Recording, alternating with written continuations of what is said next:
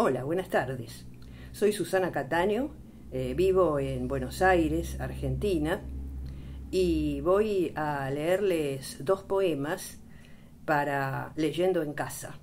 Fui invitada por Ana María Mayol, a quien le agradezco que me conceda el honor de poder eh, leer estos poemas.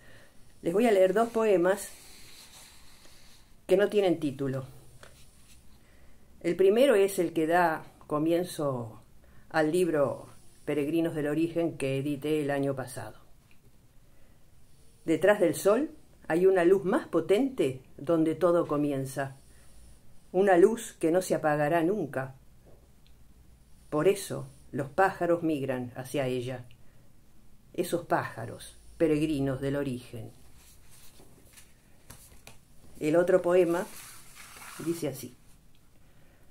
Ella camina sobre las puertas del bosque, encierra la luz entre follajes y liebres, se detiene sobre mi rostro y saluda a campanarios.